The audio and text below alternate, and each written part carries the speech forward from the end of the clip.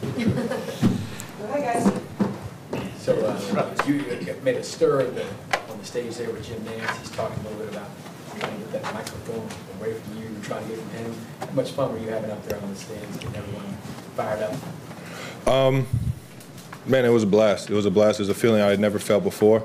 Um, and then in terms of uh, trying to steal the mic, I wasn't trying to steal the mic. I just didn't want uh, Nantz to take it away before I hit the punchline, right? So it was, it was just a little bit of a little bit of excitement. Yeah, not not so much a tug of war, just making sure that I got everything out that I needed.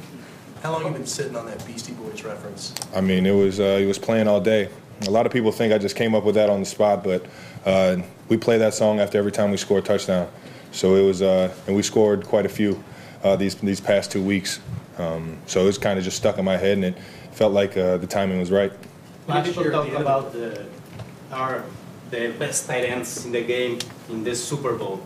What do you think about George Kittle, and if you admire any skill from him? I mean, it's uh, just about everybody in the world thinks the world of George Kittle.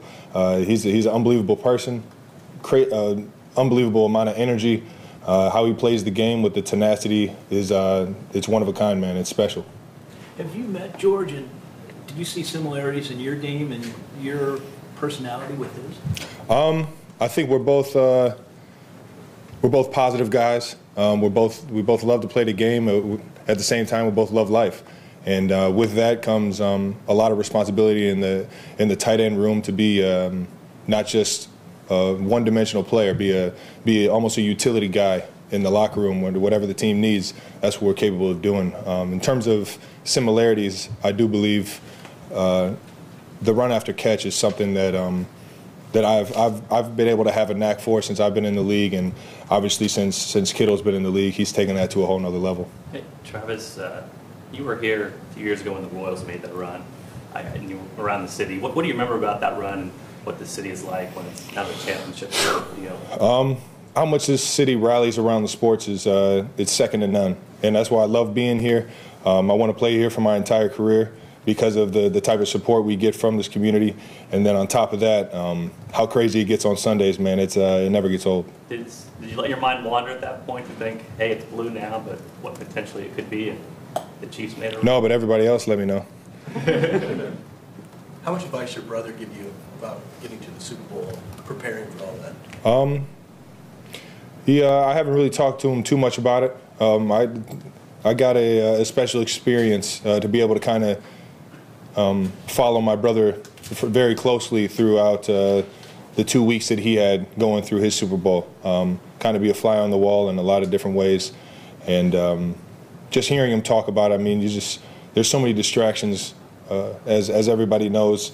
Um, it's that crazy week in Miami. You can amp everything up a whole ten times, and uh, you just got to be able to to sort through the the real and and and be able to be there for your teammates uh, in the building with the right mindset every single day. Travis, how will you spend the next 48 hours between uh, now and the time you head to Miami? Um, being right here in this facility, working and, and trying to figure out how to beat the Niners. I mean, that's uh, that's been my mindset ever since we won the game uh, last week, and you know what? I uh, I don't see that mindset changing. We got two weeks to, to for the biggest game of my life, right? So uh, and the and the clock's ticking.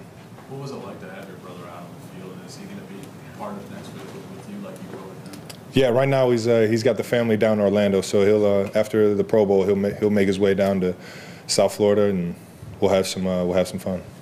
The, uh, you obviously got close with Eric Hosmer at the time. Did any of the Royals reach out to you? Have they reached out to you? A few a few of the Royals now and Big Haas uh, gave me a shout on tw- on uh, Instagram and let me know you know what, the boys are rallying and it's time for us to to bring one home for the city.